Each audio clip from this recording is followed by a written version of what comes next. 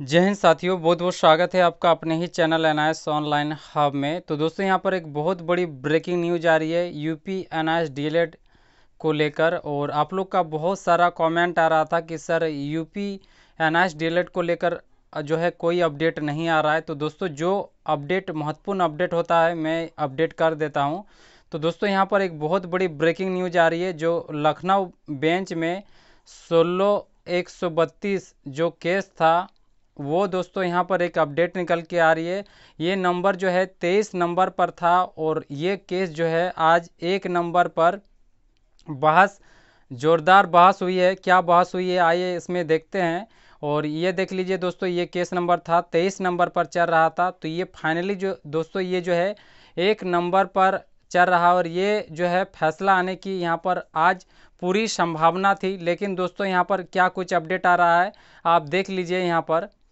कि जैसा कि दोस्तों आपको लोग को ज्ञात होगा कि आज के सोलह एक सौ बत्तीस की सुनवाई थी, बहुत लंबी बहस चली और आपने देखा कि आज की बहस का परिणाम सकारात्मक रहा। जय भोलेनाथ, सरकारी वकील ने दो महीने का वक्त मांगा है, क्योंकि निवाली में संशोधन बहुत से प्रोसेस से गुजरता है, इसीलिए दो महीने ज़्यादा समय नहीं है। क्योंकि दोस्तों आप लोगों ने देखा जो बिहार के शिक्षक ने किस तरह मान्यता अपना ली है। आगे इसमें कहा जा रहा है कि इसीलिए दो महीने ज़्यादा नहीं होते और अभी ना टेट और ना भर्ती आने वाली है। अगर दो महीने में कोई प्रोसेस नहीं किया तो हम कंटेंट ऑफ़ कोर्ट लगा देंगे। हमारे द्वारा किया गया केस कितना पॉजिटिव रिज़ल्ट लाया है, यह समय रहते हमने केस किया, अगर टेट का इंतज़ार करते तो क्या होता? ये सोच कर हृदय में भय प्राप्त हो जाता। और यहाँ पर दोस्तों, अब 99 परसेंट सरकार दो महीने में नेवाली में संशोधन कर देगी। धन्यवाद। बाकी का ऑर्डर अपलोड होने पर आप लोग को दिया जाएगा।